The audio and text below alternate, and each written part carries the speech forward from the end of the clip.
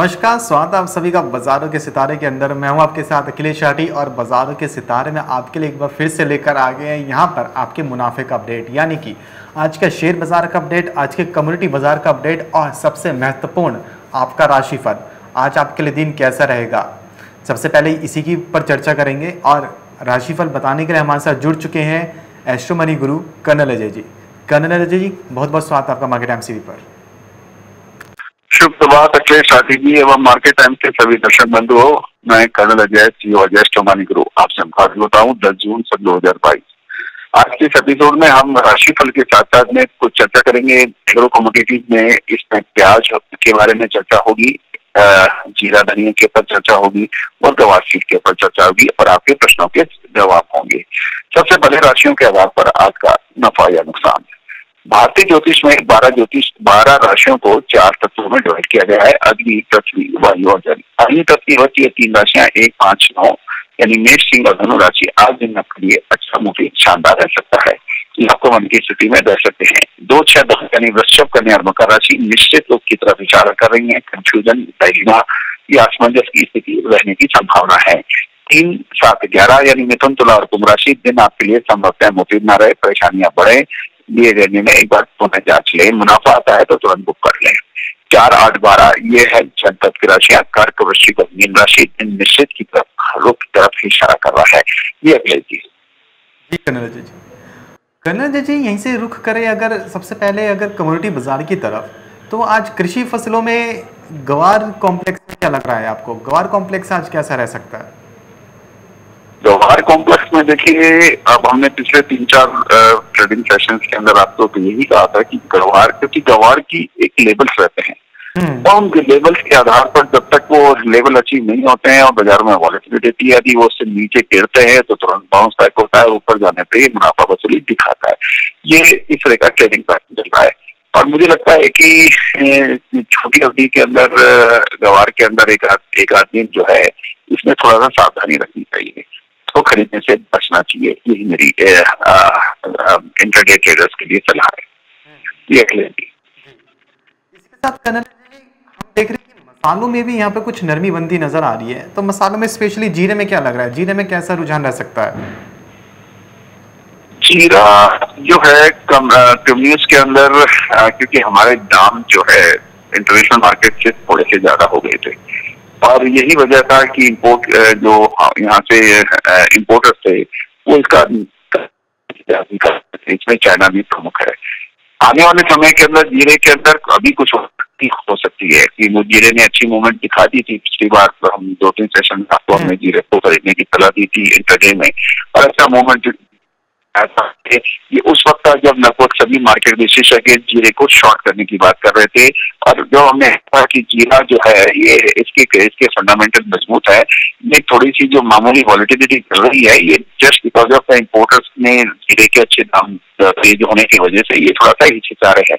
लेकिन जीरे के अंदर मजबूती रह सकती है। और जीरे में पिछले तीन चार ट्रेडिंग सेशन आगे आपने देखे हो तो शानदार मूव बने।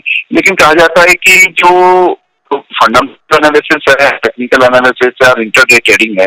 तो इंटरडे ट्रेडिंग के अंदर जब तीन चार दिन आपने मुनाफा ले लिया होता है किसी भी चीज़ के अंदर तो उससे पहुँच आ जाता है।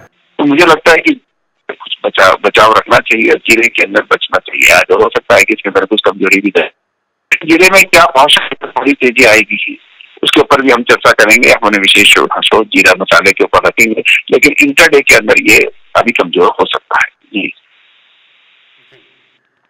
कृषि फ़सलों में सोयाबीन एक ऐसी कृषि फ़सल देखने को मिल रही है इस बार कि घरेलू मार्केट में तो भले ही दाम एक सीमित दायरे में हो, लेकिन विदेशों में ज़बरदस्त उछाल आ रहा है सोयाबीन की कीमतों के अंदर। अगर कल ही की बात लें तो 2012 में सोयाबीन ने जो 18 यूएस डॉलर प्रति बुशल का हाई लगाया था, उसी के लगभग इर्द गिर्द सोयाबीन के जो प्राइसेस हैं, वो ट्रेड होते हुए दिखे थे। तो आपको क्या लगता है? ये जो सोयाबीन में यहाँ पे इतनी जोरदार उछाल आ रहा है तो क्या यहाँ से कीमतें बढ़ेंगी या फिर यहाँ से कुछ खतरा है और अभी दूर रहना चाहिए? देखिए, कल यदि हमें इंटरनेशनल मार्केट में देखें तो ऑयल सीड जो सोयाबीन है, उसके दस साल के उच्चतम स्तर दिखा दिए थे। और वो बीच भी हो गया था। और यही चीज़ आपको याद हो, जो सरकार ने सोयाबीन और सनफ्लावर ऑयल का हम्म। इंपोर्ट करने की डीजी क्लासन की कही थी तो आप आप ही के शो में हमने ये कहा था कि महत्वपूर्ण ये रहेगा कि जब सोयाबीन के दाम अंतर्राष्ट्रीय बाजारों में कम हैं हम्म। और आपको भारतीय किसान सोयाबीन आपकी एमएसपी पे देने को तैयार नहीं है उनको पत्ते में नहीं आता है तो आप अंतर्राष्ट्रीय बाजारों से सोयाबीन क्यों नहीं खरीदते हैं? जी। और वो सोयाबीन आप खरीद के अपना बफर स्टॉक बनाइए और जब सोयाबीन के दाम अंतर्राष्ट्रीय बाजारों में तेज होते हैं तो आप इसको रिलीज़ कर दीजिए। अ, तो प्रॉब्लम कहाँ है? लेकिन होता यह है कि जैसे ही ये मैंने आपको यही कहा था कि भारत ऑयल सीड का नेट इंपोर्टर है। सेकेंड लार्जेस्ट इंपोर्टर है वर्ल्ड के अंदर। तो तो आप जब आप इंपोर्ट कर रहे हैं, पूरी तरह से दूसरों पर निर्भर हैं तो आपके बढ़ाने और घटाने से क्या प्रभाव पड़ेगा बिल्कुल। और ये चीज़ अभी भी नहीं था जनवरी के महीने में भी आपको याद हुआ था जब बाज़ार में एकदम से गिरावट आ गई थी। एक हज़ार बीस के आसपास का रिफाइंड सोया आ गया था। जब भी हमने कहा था कि धैर्य रखना चाहिए इसको वेट एंड वॉच की पोजिशन करनी चाहिए क्योंकि बाजारों में जो अंतर्राष्ट्रीय बाजारों में के जो दाम है वो निर्भर करेंगे भारतीय बाजारों के आधार पर भी। लेकिन यदि अंतर्राष्ट्रीय बाजारों के अंदर डिमांड एंड सप्लाई का खेल सबसे अधिक माना जाता है उसको देखते हुए मुझे लग नहीं रहा था कि इसमें हो। और यही स्थिति अब दोबारा हो रही है। तो सोयाबीन के जो दाम अंतर्राष्ट्रीय बाजारों में बढ़े हैं और उसका असर यदि आपने देखा होगा पिछले तीन चार दिन के अंदर सरसों के अंदर भी शानदार तेज़ी बन गई थी। जी। सरसों क्योंकि ऑयल सीड के अंदर जो है वो शानदार तेज़ी सरसों की भी बन गई है। और सोयाबीन के जो अंतर्राष्ट्रीय बाजारों में भारतीय बाजारों पर पड़ेगा देखिए उसका सिर्फ़ कहना यह है कि मानसून जो है सबसे पहले केरल को टच करता है। हम्म। और मध्य में आते आते थोड़ा समय लग जाता है। जी। लेकिन यदि यदि केरल के अंदर अच्छा मानसून आया हुआ है तो मध्य भारत उत्तर भारत में बरसात आएगी। है उसी तरह से यदि अंतर्राष्ट्रीय बाजारों के अंदर सोयाबीन की दाम उच्चतम स्तर पर है तो दूसरी तरह आपका जो भारतीय रुपया वो लगातार अमरीकी डॉलर के, के खिलाफ बहुत कमज़ोरी दिखा रहा है अठहत्तर रुपए का लेवल हो गया है। ऐसी स्थिति के अंदर आप कैसे आप जो भी इंपोर्ट करोगे आपको ज़्यादा पैसा देना पड़ेगा। आपको अंतर्राष्ट्रीय बाजारों के नियम के हिसाब से भावों के हिसाब से आपको इंपोर्ट करना पड़ेगा। तो आप अपने दाम कितने घटाओगे कौन जो ये डिफरेंस का पैसा होगा वो हम्म। कौन बियर करेगा? वो कौन बियर करेगा? ये ये ये एक बड़ा सवाल है। क्या उसमें सब्सिडी सरकार देने को तैयार है? क्या इंपोर्टर अपना मार्जिन घटाने को तैयार है? हम्म। कि सरकार इसके ऊपर काम कर रही है। ये बधाई मार्केट टाइम्स टीवी की पूरी टीम को है और पूरे दर्शकों को है क्योंकि उन्होंने भी पूरे ध्यान से और शिद्दत से हमारी चीज़ सुनी। हमने यही कहा था कि आपको याद होगा कि एमएसपी और एमआरपी के अंदर बीच में कॉम्बिनेशन होना चाहिए।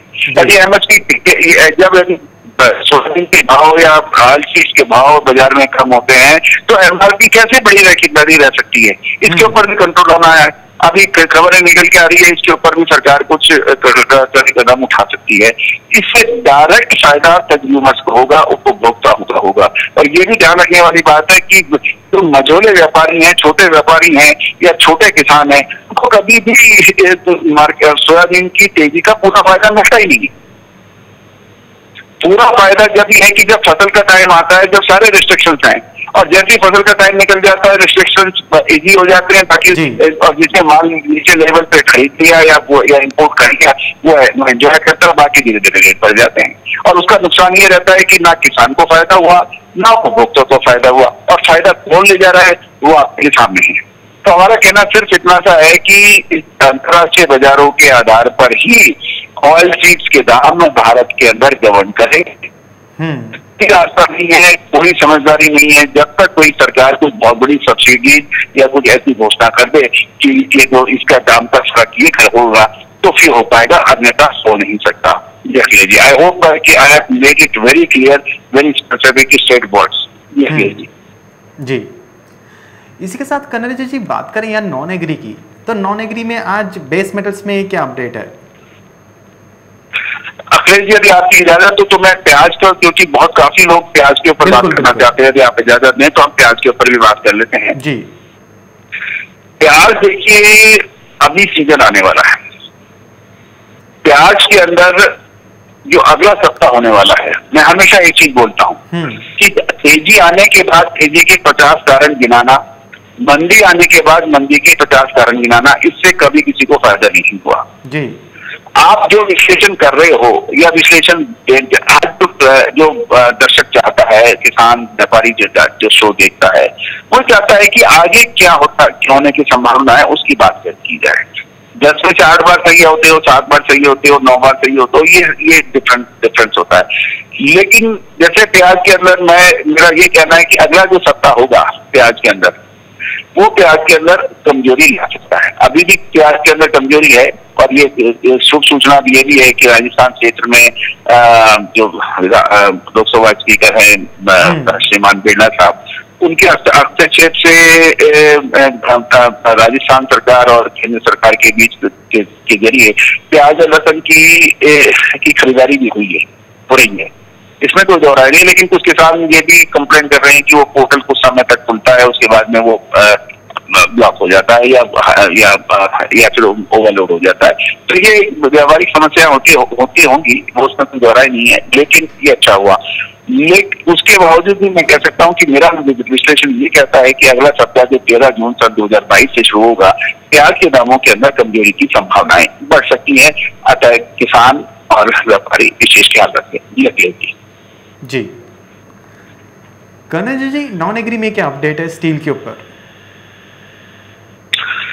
नॉन एग्री में नॉन एग्री कम्युनिटीज में आज हम बेस मेटल के ऊपर चर्चा करेंगे। हम्म। एक खबर को निकल के आ रही है सबसे पहले तो फेरस में और नॉन फेरस के अंदर। फेरस मेटल में निकल के आ रही है कि स्टील की जो इंपोर्ट ड्यूटी एक्सपोर्ट ड्यूटी सरकार ने बढ़ाई थी स्टील के निर्यात के ऊपर। उसमें इंडस्ट्री जो स्टील मंत्र स्टील यानी मंत्रालय जो है और ये कॉमर्स मंत्रालय जो है वाणिज्य मंत्रालय, दोनों के बीच के अंदर खबर निकल के आ रही है कि संभवतः इसमें बातचीत हो सकती है। क्योंकि स्टील के पैसे एक्सपोर्ट के ऊपर एक्स्ट्रा ड्यूटी लगाने की वजह से काफ़ी बुरी तरह से पिट गए थे।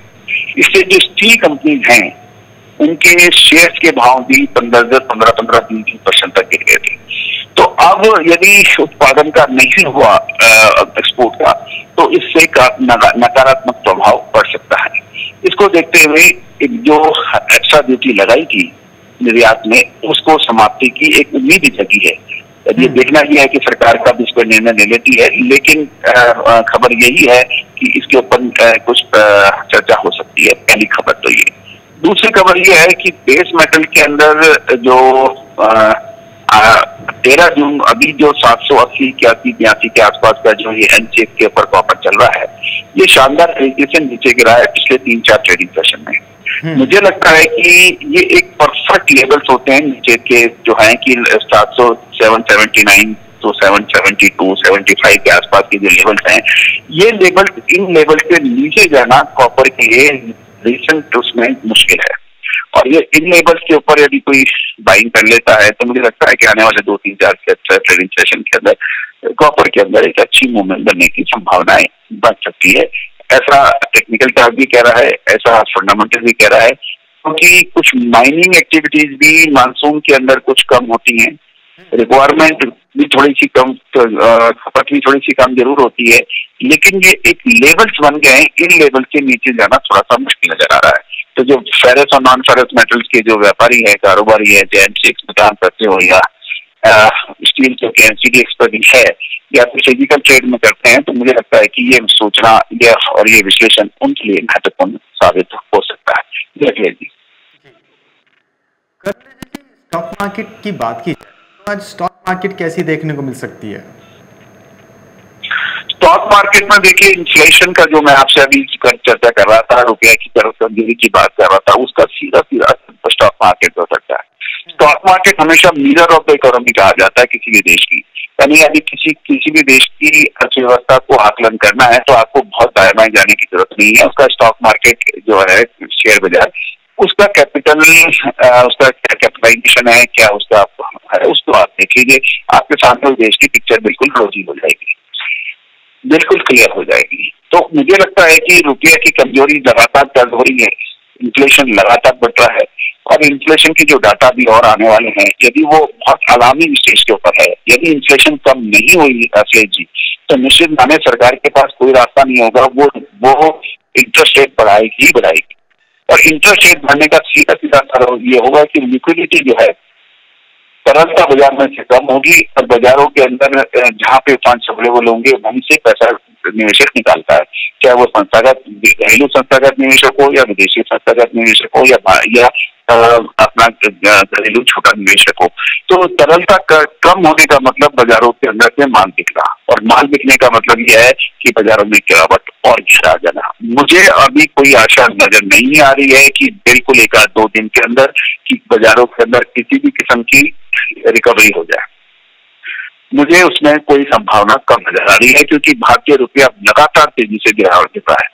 और इन्फ्लेशन रेट भी लगातार बढ़ रही है, और ये एक अलार्मिंग सिचुएशन नज़र आ रही है, और इसका सीधा सीधा असर आप देखिए बाजारों में आ रहा है। तो यही मेरा कहना है, यही मेरा आपको दर्शकों को कहना है, ये समय सावधानी का है। लेकिन एक ये बात और भी मैं कहूँगा, इसमें घबराओ मत आप, क्योंकि ये बाजारों में उतार चढ़ाव हमेशा आएँगे। और आते रहेंगे इसमें कोई समस्या, परेशानी की बात नहीं है। लेकिन अच्छी क्वालिटी के स्टॉक नीचे के स्तर पर खरीदिए, पहली चीज़। दूसरी चीज़, यदि आप दस हज़ार रुपए का इन्वेस्टमेंट करना चाहते हो, उसको तीन तीन हज़ार करके दो तीन बार करिए। तो आप हमेशा सुरक्षित रहेंगे। अभी आप फ्यूचर ट्रेडिंग करना, बड़ा इन्वेस्टमेंट करना तो उससे एक घबराहट पैदा होती है उसमें आपको रुकना चाहिए।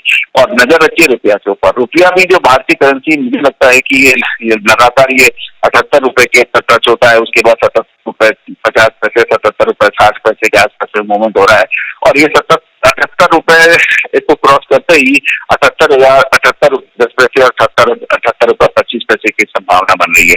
और ये अठहत्तर क्रॉस करते ही जो जिसकी पूरी पूरी संभावना बन रही है दोस्तों ये एक ऐसा complete show market Times TV पर आप देख रहे हैं अखिलेश मराठी जी के माध्यम से, जो कि करेंसी पे भी बात हो रही है स्टॉक मार्केट पे भी बात हो रही है नॉन एग्रो कमोडिटीज पे भी बात हो रही है, और कृषि जिनसों पे भी बात हो रही है। तो हर, चाहे वो व्यापारी हो इंडस्ट्रियलिस्ट हो इंपोर्टर हो एक्सपोर्टर हो बैंकर हो, नीति निर्धारक हो, उन सभी के लिए ये शो उपयोगी है। ये अखिलेश जी का ये जो मार्केट सितारे तो रूपी के अंदर कमज़ोरी और घेरा सकती है। ऐसा मेरा आकलन है ये अठहत्तर रुपए क्रॉस हो सकता है। अभी अठहत्तर रुपए, सतहत्तर रुपए, अस्सी पैसे के आसपास की मूवमेंट चल रही है। तो इन सबको देखते हुए शेयर बाज़ार में बचना चाहिए। जी अखिल जी कुछ ऐसा रह सकता है। Currency market stock market community market और आज आपका राशिफल। बहुत बहुत शुक्रिया कर्नल अजय जी हमारे साथ जुड़ने के लिए जानकारी साझा करने के लिए। फ़िलहाल बाजारों के सितारे में अभी के लिए इतना ही। मुझे दीजिए इजाज़त। नमस्कार।